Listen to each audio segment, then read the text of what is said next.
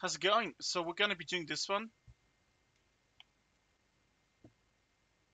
Right, I'm assuming you already read this magical stuff. Okay, so first I'm gonna explain how to do it. Alright, so let's take one of the strings. Well, honestly, do we need to? Yeah, let's just take, uh, let's take this one here.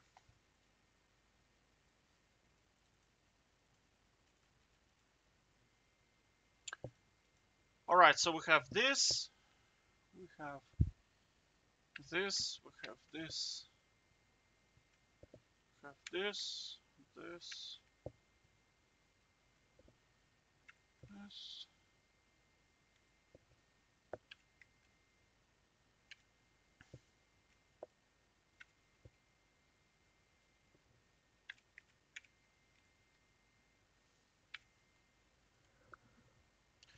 Okay, so what we're gonna do is we're gonna um, go through every single one of them in terms of iteration, right? And we're gonna have a final array. Okay, so we're gonna call this the right way, right? So this, this, or this is gonna be the right way. So if it's one of those, we want to push them into the final array, right? So for example, let's say this one is the right way, these two are the right way, we want to push it in the right way. Now here's the trick.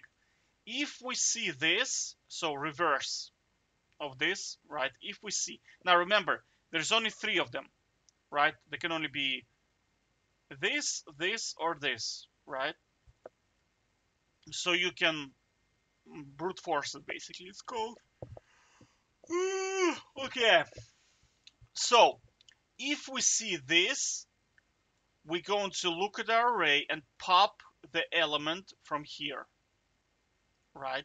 So if we see this we're gonna pop this element and we're going to check that this element is this reverse of this right? So we're popping it off and we're checking. Does this element equal to this? If so, continue. So we're gonna put popped in here. We don't we're not gonna actually store them, but just so you'll see. Again, we see the reverse of this. We're gonna look, we're gonna pop the element and check that it's actually reverse of this. If not, return no, right? So, okay, we're gonna pop the element off, right? So now we are here. Uh, so this is the right way up. So we're gonna add it to the array. Now we're gonna look at the next element and see, okay, so this is reverse. We're gonna pop the element of the array remember pop is popping the last element of the array and check whether it's actually this. If not return return no if yes pop it. And then we keep going okay? Now this is reverse. We check. We're gonna pop it. Is it equal to uh, this thing? If yes pop it. Off right. Next, this is the right way up. We're to add it. So this is reverse. We're going to check whether we're going to pop it and check if it's reverse of this one. If so, we're going to pop it off. And then, okay, now it's again, it's the reverse. We're going to pop it and check if it's equal to the reverse. If so, we're going to pop it off. So now the final array is empty. We're going to check if the final array is equal to zero, return yes, or if there is something in it, return no. The other way to do it is check if final array has anything in it left, return no. In all other cases, return yes. Does that make sense? That's it. So that, that that's how we're going to do it. All right. So let's do it. So the first thing, now another condition I just added, I don't know if you need it, but like an if s length divide by 2 does not equal to 0, that means there's more than, now they, they are in pairs. You have to remember they're in pairs. So if there's like seven elements, one pair is definitely missing. So we're gonna have to automatically return null.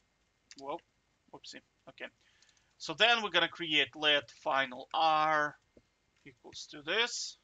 Am I recording? Am I recording? La la la la la. Okay.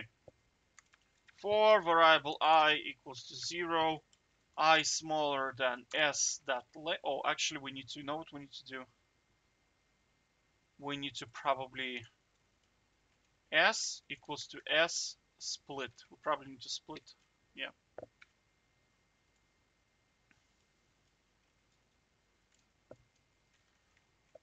All right.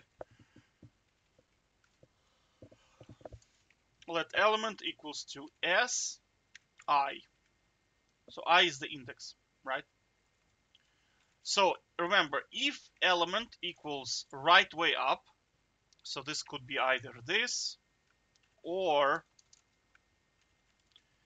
element equals to, it could be this or element equals if you know how to do if you like to do switch statements you can do them in here if you want. Whoops.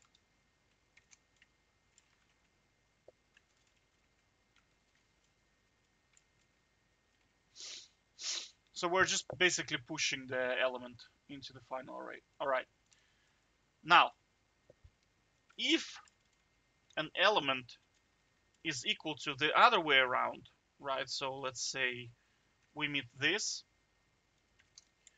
We want to do a test, which is going to be, we're going to look at the final array and we're going to do pop.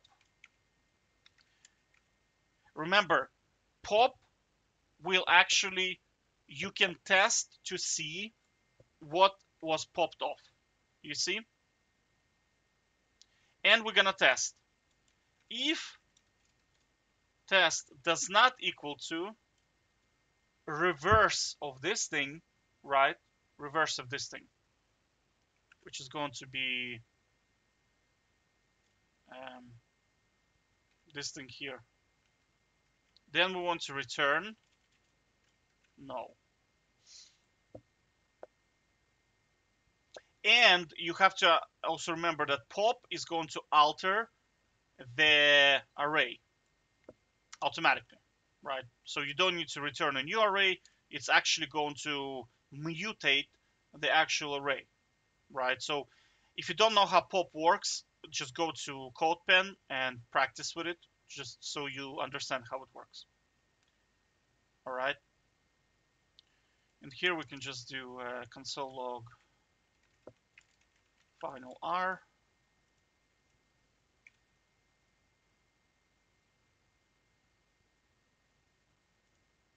This is the end end of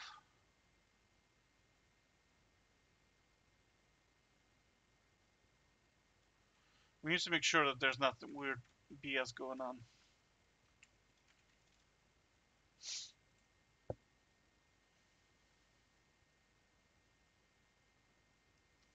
Yeah, you're gonna have to, like, it's not gonna show correctly because you actually have to put in all the three conditions. Otherwise, um, it's going to start messing around. All right. That's why you don't see final R's because it already returned something, right? You, you have to. You have to put in all the uh, conditions, otherwise it's just not going to work, right? So if it's equal to this, then we want to do the test again. Again, you can do the switch statements. Make sure it's the reverse of it, right? So it has to be this. And then final one is going to be, if it's like this, it has to be reverse like this. Now you see, Now it works, right? Now we do the test. If final r dot length is equal to zero, return yes, else return no. I think that should do it. Just play around with logic. I mean, that, that definitely should do it.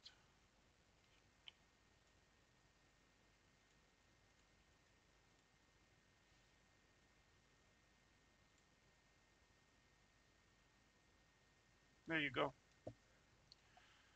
And that's about it.